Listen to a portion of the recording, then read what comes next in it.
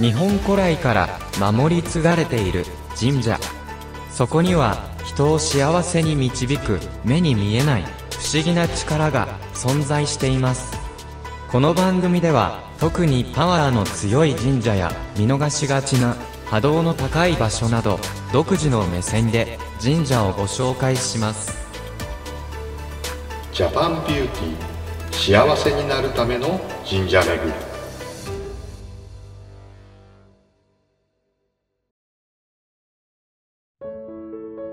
皆様こんにちは。いつもご覧いただき本当にありがとうございます。最近とても大きな仕事のプロジェクトを抱えておりましてなかなか YouTube をアップできずに失礼いたしました。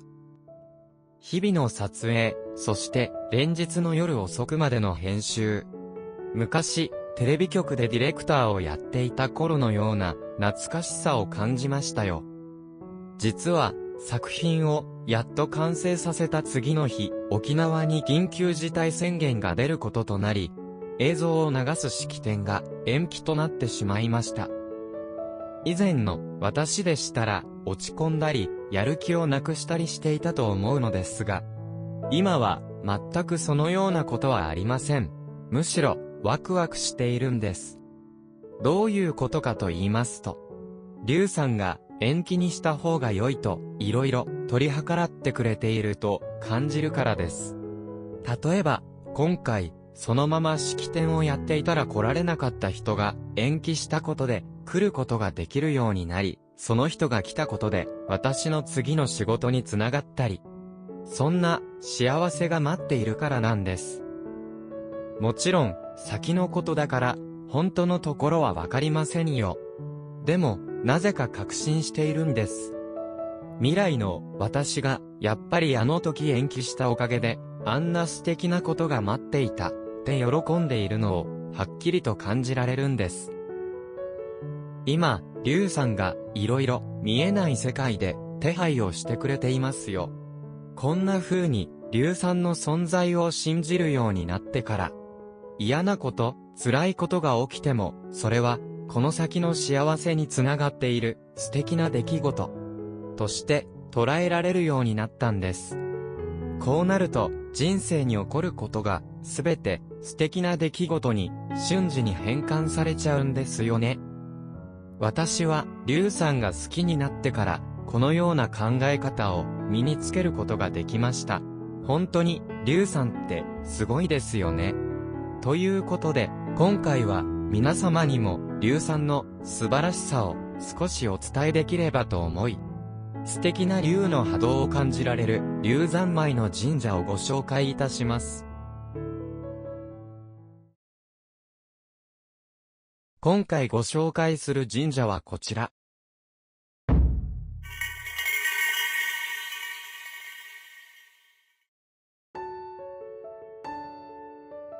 今回は京都に鎮座されている伏見、神宝神社をご紹介します。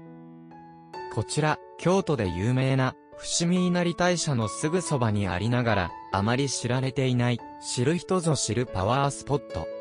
しかも、竜神のエネルギーを感じられる、竜好きにはたまらない神社なんです。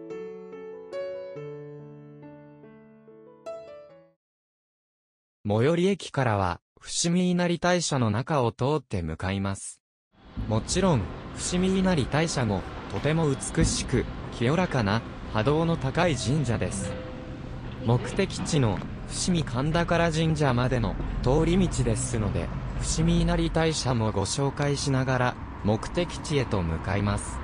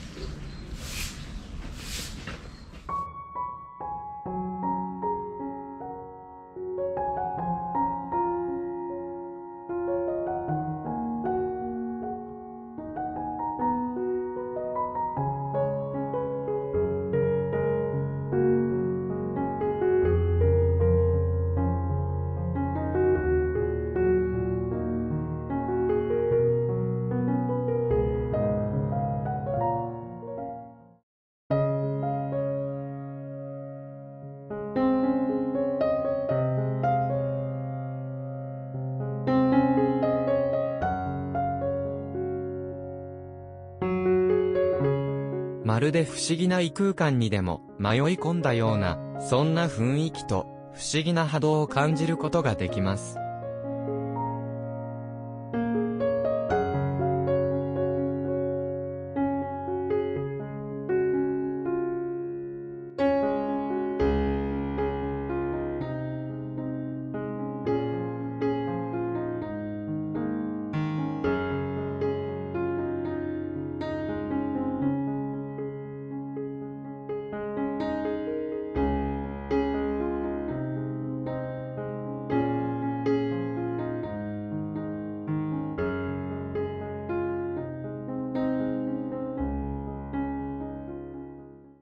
千本鳥居を越えると、伏見稲荷大社の奥社があります。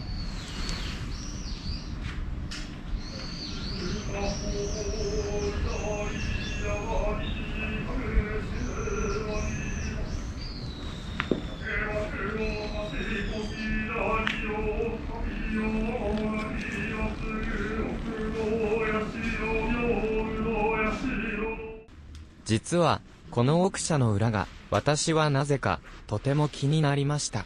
インターネットで調べても、ほとんど紹介されていません。非常に波動が高く、見た目上に居心地の良さを感じます。山の奥から、清らかで神聖な空気が、ふわっと流れてくるんです。気になって、地図を調べてみたところ、ちょうどこの鳥居の奥に、今回の目的地、伏見神宝神社が位置していたんです。竜のエネルギーが流れる、流脈となっているように感じましたよ。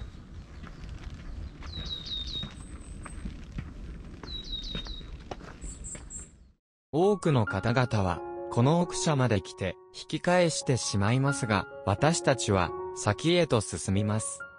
この奥社からさらに左側の鳥居へ向かいます。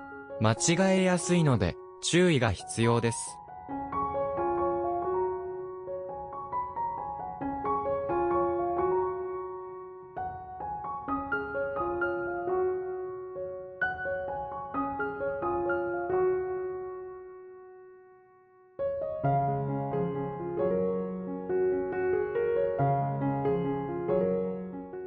そしてこの鳥居の途中に、右に登っていく道があります。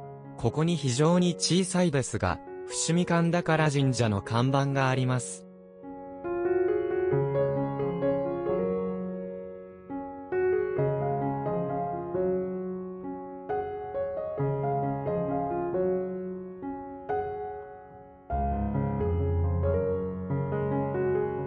ここからちょっとした上り坂になるのですが、先ほどまでとは全く違う、自然に囲まれた、神聖な波動を感じられます。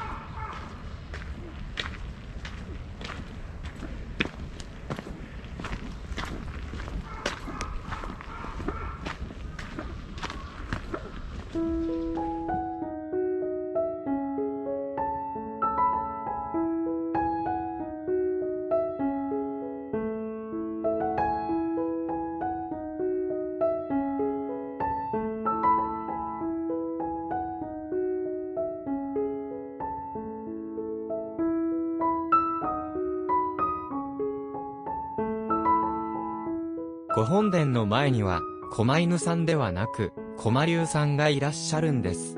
左にいらっしゃるのが、地竜さん。そして右にいらっしゃるのは、天竜さん。駒竜さんがいらっしゃる神社は、とてもレアで貴重なんですよ。天竜さんは、天に登って、宝を地上へと持ち帰る担当。そして、地竜さんは、その宝を守る担当と、それぞれのお役目をお持ちなんです。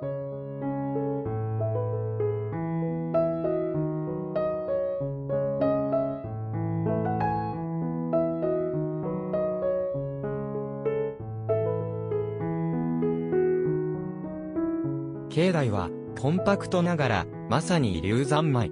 様々な見どころが凝縮しています。まず最初に見えてくるのは、龍さんの頭が飛び出している像。口の中に玉を加えていて、これを回しながらお願い事をすると叶うと言われています。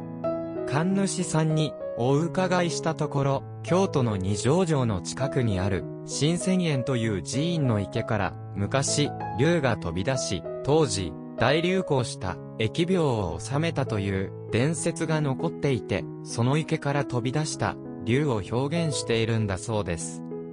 なんだか今のコロナの時代と同じような歴史があったんだということも知ることができました。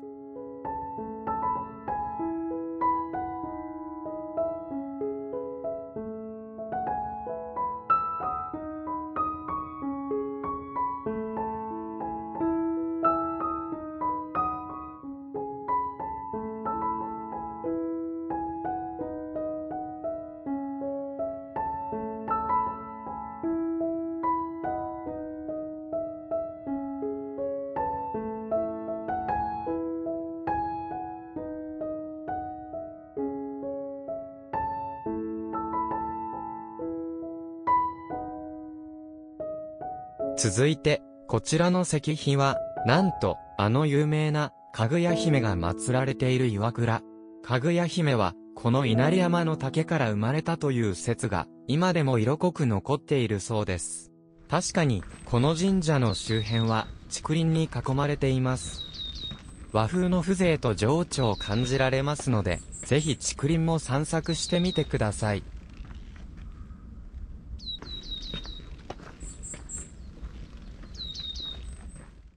さて、最後に、とても重要な場所をご紹介します。この神社自体、知る人ぞ知るパワースポットでありますが、そんな神社の中でも、さらにあまり知られておらず、皆さん見逃してしまう場所があるんです。神社の裏に行くと、物置のような建物があるのですが、さらに、そこを左に降りていくと、小さな岩倉が祀られています。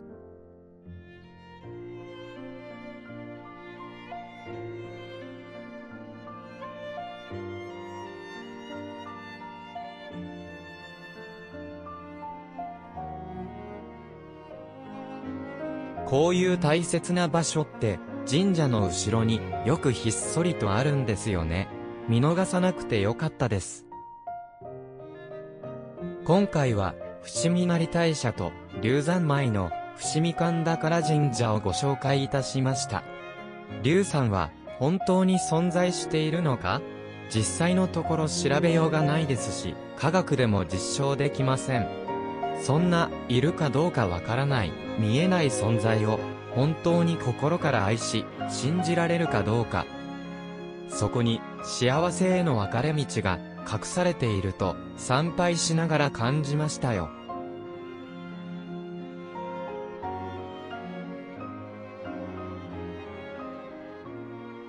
こんな時はいつもよりちょっと多めに好きな音楽を聴くことで心がスーッと落ち着いていくそうですよ。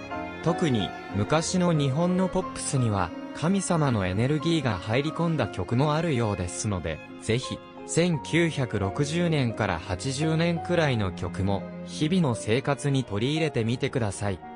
今回も最後までご覧いただきありがとうございました。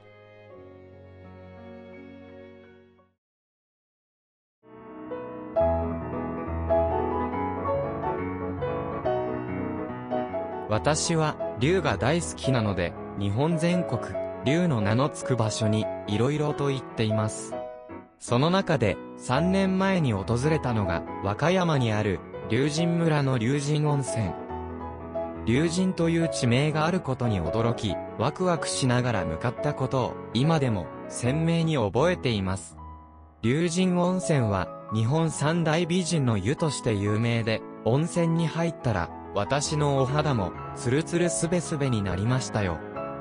そして、竜関連グッズをたくさん売っていたのが、こちらの、ドライブイン、竜の里。なんとも言えない、素敵なお名前ですよね。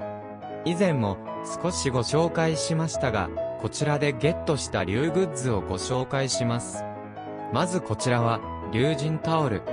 広げると、こんな感じ。ふわふわの触り心地がとてもお気に入りです。もしあなたが悲しい時には、この竜神タオルで、あなたの頬を流れる涙を優しく拭き取ってあげるよ。なんちゃって。続いてこちらは、竜神割り箸。もったいなくて、まだ一本も使っていません。そして最後は、竜石鹸。竜さんのイラストがとても素敵。よく見ると、石鹸自体にも、竜さんの絵が刻まれていますよ。この竜石鹸で顔を洗えば美しい人はより美しく、そうでない方はそれなりになれるらしいですよ。コロナが落ち着いたら、またぜひ、竜神温泉に行きたくなってきましたよ。それでは、また次回、お会いしましょう。